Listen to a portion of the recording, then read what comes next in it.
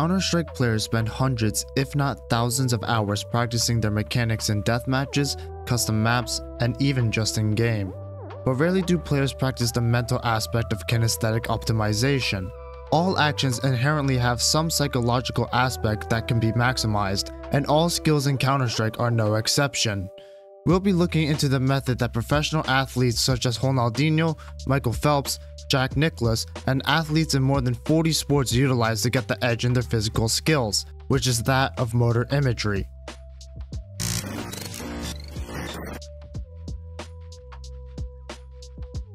But what is motor imagery? Motor imagery, in its most basic form, is the creation of a visual representation of your movements in order to enhance or conceptualize a physical skill, without actually doing the motions. But how does imagining an action help us perform said action? When you imagine yourself doing a physical skill, your brain will naturally simulate the experience of doing those movements by priming your neurons to be ready to perform that given action. Think of it like your body rehearsing what it has to do to create the movement in your head before you go out and actually perform that maneuver. Motor imagery has been the topic of research for sports psychologists for nearly 40 years and has been a pretty open secret amongst top athletes. It rarely gets discussed in mainstream esports as it is far less common to have a coach, let alone a dedicated mental coach, who would pass down some variation of this technique. The leading imagery technique is known as PETTLEP imagery, which is an acronym developed by Paul S. Holmes and David J. Collins in 2001 as a framework for increasing the vividness and brain stimulation for motor imagery. It's essentially a checklist for each element that your mental simulation should cover to create the most complete mental version of your actions. The first P stands for physical, imagining the feeling of your keyboard and mouse, the friction of your mousepad, your posture and hand positioning, the physical experience of playing. The first E stands for environment, feeling out the room in which you are playing, but also if you're playing at a LAN or a different environment, making sure you can envision the area is incredibly important. The first T stands for task, where there are two ways to think of it. The first is imagining what you are physically doing to perform the task, which in this case is how far you have to move your arm, wrist, and fingers to move your mouse. And the second is imagining what you are doing in the game, how far you have to flick, or where the enemy is going to peek, etc. The second T stands for timing, which is simply getting the speed at which you perform these actions both physically and in-game as accurately as possible. L stands for learning, which can be a little bit misleading as it actually refers to making your simulation match your current stage of learning, rather than the understanding of what you did. But this is a crucial step for proper motor imagery. If you aren't able to physically perform the task that you are imagining, imagery is not going to be effective you are probably not at the level to hit this shot, but you can hit this one. Managing your expectations is critical to getting maximum benefits from motor imagery and will ultimately help accelerate your growth. The second E stands for emotion, which is especially helpful for imagining how you would feel with the pressure of a clutch or managing your tilt in-game in case the play doesn't work. Esports can be emotionally charged, so understanding how you would feel in the moment can be valuable to performing a strat. The second P stands for perspective, picturing how the play would look.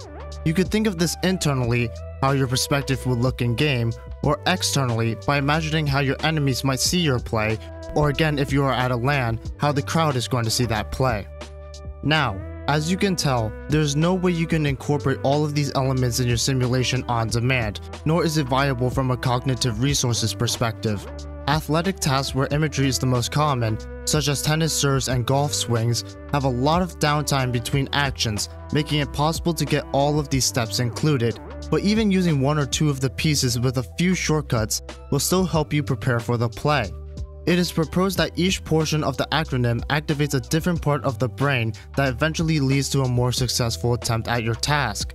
So although I personally try to imagine the physical and task elements of a play first, you could find that you struggle with pressure and perform better preparing for what your teammates' reactions are going to be and the emotions you might feel from that.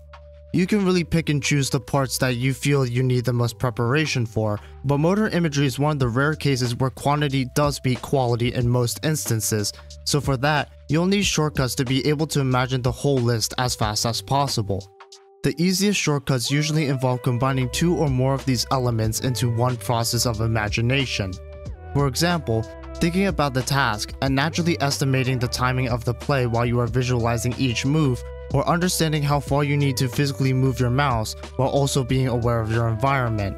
If you can reduce how many steps you have to think about prior to the play, you can greatly decrease the amount of time it takes to create a finished mental scenario. But it is also important to think how you think of these plays.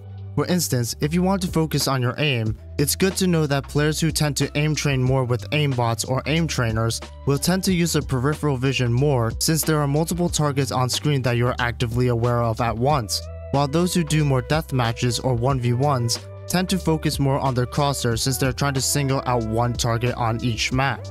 As a result, the brain subconsciously thinks of aim differently between these two styles, just like how I might view arm movement differently between wrist and fingertip predominant players. Reflecting and understanding why you tend to do certain motions both reflexively and intentionally will give you much greater comprehension of how to form your motor images. So when should you use motor imagery? Theoretically, if you could form perfect mental simulations before each of your plays, you probably would be twice as good as you are now, but simply not feasible. Getting each one of the steps planned out, having a perfect mental image of them, and actually having the play go exactly as you planned it is practically impossible. It's only in fringe cases that athletes will imagine entire plays or maneuvers, such as Ronaldinho imagining plays while he trains, and Shohei Ohtani when he sleeps apparently. If you want to imagine an entire play before it happens, it's best to do it before a game or maybe during buy time if you are fast enough. But that is if we are talking about whole plays. As I've mentioned previously, imagery is most common in sports tasks that have a lot of downtime prior to the action. But what also connects these tasks is that they are a singular action, singular being that they are performed in one fluid motion, which makes them much easier to imagine. That's not to say that hitting a tennis serve, golf swing, or passing in football is easy, but it is much easier to imagine perfect versions of these tasks when you remove a lot of the extra elements of movement, strategy, and teammate opponent responses that comes with the whole play in those sports. With Counter-Strike, we can equate this to one instance of aim, such as a flick. This is especially useful in situations where you might be watching two angles at once, where you end up just kind of alternating between them, not really watching either. But instead of trying to flick your crosshair back and forth, you can instead focus on the angle that your opponent is more likely to peek from, and use a quick motor image to prepare for the flick onto the second angle.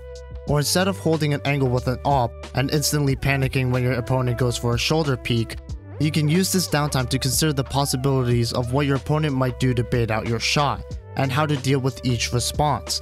With each repetition of this, you will get better and better at creating these mental simulations, which will be clearer, more vivid, and more accurate, and you will become more confident in recreating the exact steps that you have envisioned. And eventually, you will find that you will hit incredibly difficult shots much more consistently and execute plays that no one has ever seen before. Thanks for watching. If you enjoyed the content, like and subscribe, and I'll see you guys very soon.